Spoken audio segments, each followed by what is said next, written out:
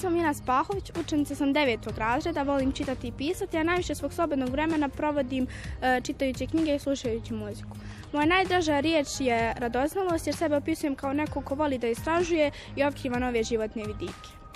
Ja sam Lokvan Čisila, učenica sam osmog razreda, dosta vremena provedem čitajući knjige, pišem svoj roman i um, slušam muziku. Uh, riječ koja me opisuje je tišina, jer dosta vremena provedem u tišini. Moje ime je Nuh Fočo, pohađam drugu osnovnu školu, učenik sam osmog razreda. Predmeti koji, najviše, koji me najviše zanimaju su matematika, fizika i informatika. Uh, riječ koja me opisuje je uporno, zato što ne odustajem lako od svojih ciljeva. Moje ime je Nera Salihović, učenica sam sedmog razreda. Moji omljeni predmeti u školi su fizika i likovno. Svoje slobodno vrijeme provodim slušajući muziku i skupljam svoju kolekciju radova. Riječ koju me opisuje jeste mašta jer mašta ispunjava snove. Ja sam Durmo Adna, volim pjevati i glumiti. Moja omiljena riječ je ljubav jer je najvrijedniji i najljepši osjećaj voljeti i biti voljen.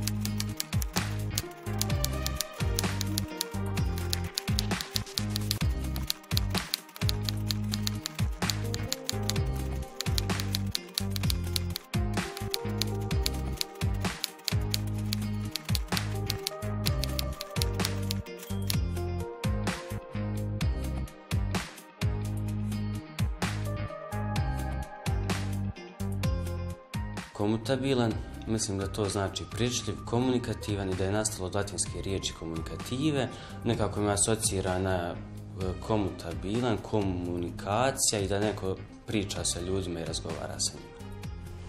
Komutabilan je osoba koja nije sigurna u ono što govori. To sam napisala zato što me ta riječ nekako po zvučnosti najviše podsjećala na to.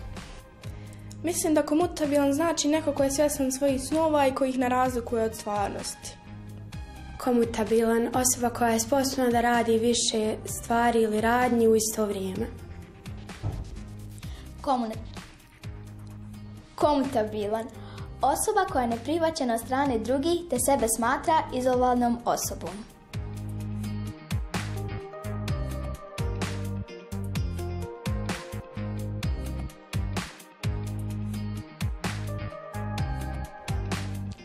Ja mislim da je tačan odgovor neko koji je svjestan svojih snova i ne razlikuje ih od stvarnosti. E, komutabilan je osoba koja je neprihvaćena od strani drugih te sebe smatra izolovanom osobom.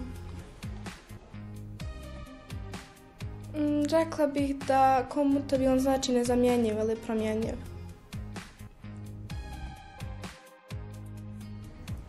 Neko ko je svjestan svojih snova i ne razlikuje ih od stvarnosti.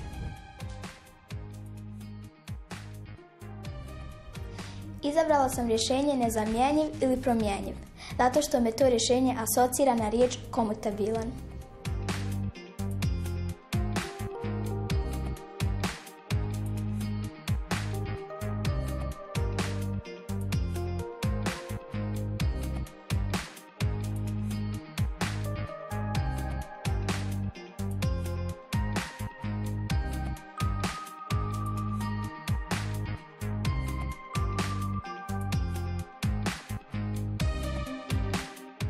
Marela, ja mislim da je marela, e, naziv za drvo marelce. Nemam neko posebno objašnjenje. Marela je vrsta morske ribe. To sam napisala zato što postoji dosta sličnih naziva upravo za različite vrste morskih riba, a i sama riječ me nekako podsjeća na Mediteran, more, ribu i tako dalje. E, napisala sam da je marela stanje u košnici tokom rađanja larvi i uzbuđenost kod pčela. Marela, biljka koja ima ljekovita svojstva. Marela, Biljka koja raste pokraj izvora. Marela je biljka koja liječi stomačne tegobe.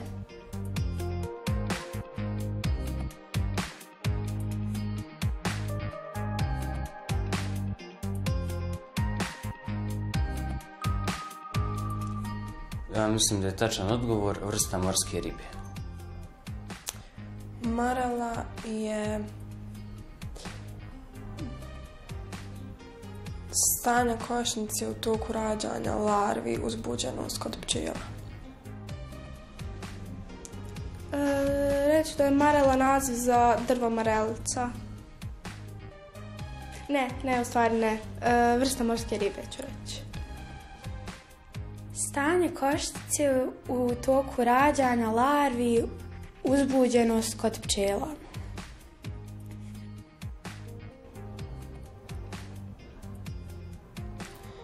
Moj odgovor je stanje košnice u toku rađanja larvi.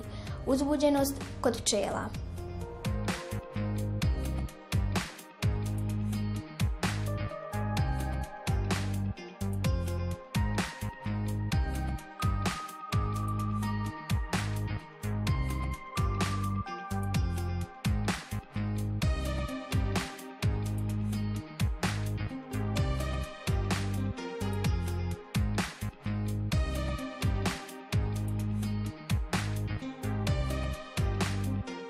Hermeneutika, to je nauka koja se razvila u 19. stoljeću, proučava more, razvio je španski moreplovac Hermento di Lasso, a i po njemu je dobila svoje ime.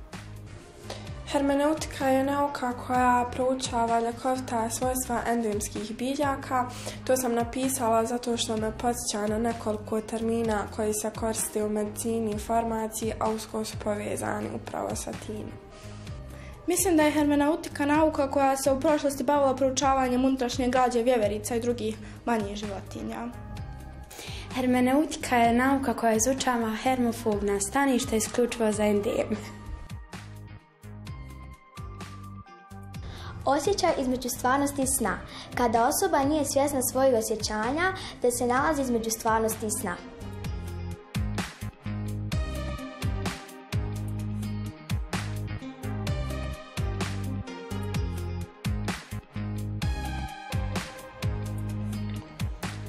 Ja mislim da je tačan odgovor nauka o proučavanju hermofobnih staništa isključivo za endeme. Hermeneutika je vještina tumačenja teksta ili govora. Mm, reći ću da je vještina tumačenja teksta ili govora. Vještina tumačenja teksta ili govora. Moj odgovor je vještina tumačenja teksta ili govora.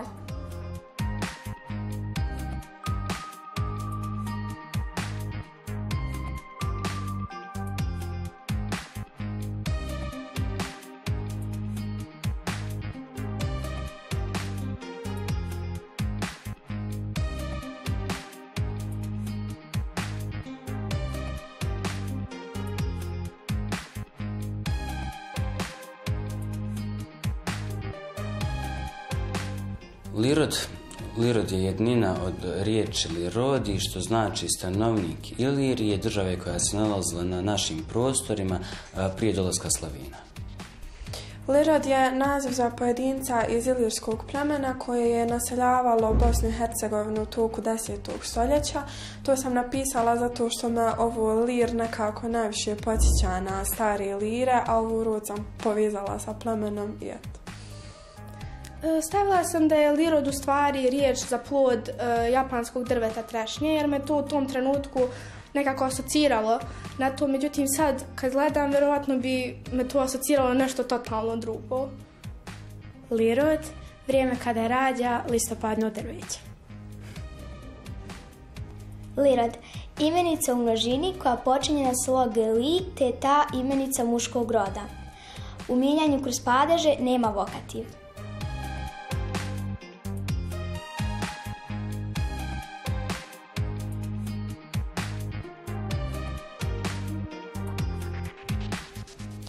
Ja mislim da je tačan odgovor plod japanskog drveta trešnje.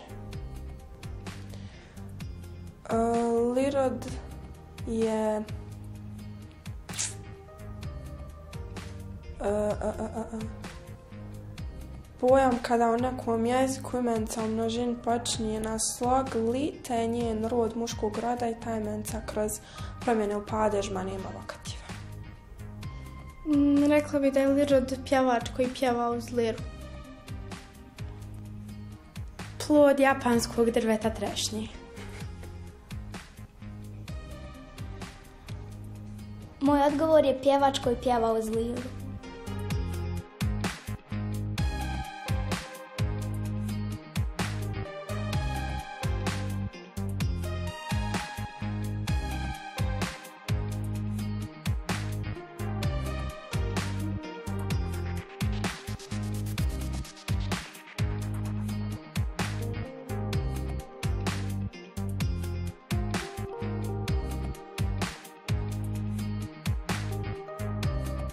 Komprehenzija, to je engleska riječ koja označava pritisak, stisak. Komprehenzija je proizvodni proces u pneumatici pri kojem se koristi energija pritiska zraka i plinova za obavljanje rada. To sam napisala zato što smo nedavno učili o hidraulici i pneumatici tu se spominje dosta pojmova kao što su kompresor, e, pritisak, vakum i tako dalje, tako da sam to jednostavno povezala sad. Komprehenzija je privlačenje ili kompresija dvaju tijela. Komprehenzija je komponovanje uz, bi, u slobodu biranja grupe instrumenta. Komprehenzija je kada je mjesec najudaljeniji od planete Zemlje, te tada noć traje dugo. Tada dolazi do presijavanja zraka sunca i nebo postaje roze.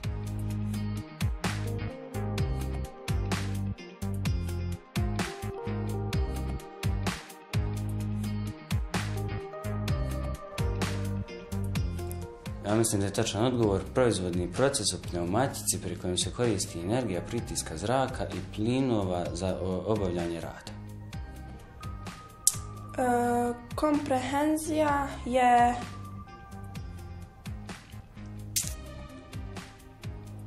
mm, sposobnost shvaćanja ne, engleska riječ koja označava pritisak ili stisak. Komprehenzija je sposobnost shvaćanja stvari i pojava. Kompresija e, dvaju tijela privlačenja. Moj odgovor je sposobnost shvaćanja stvari i pojava.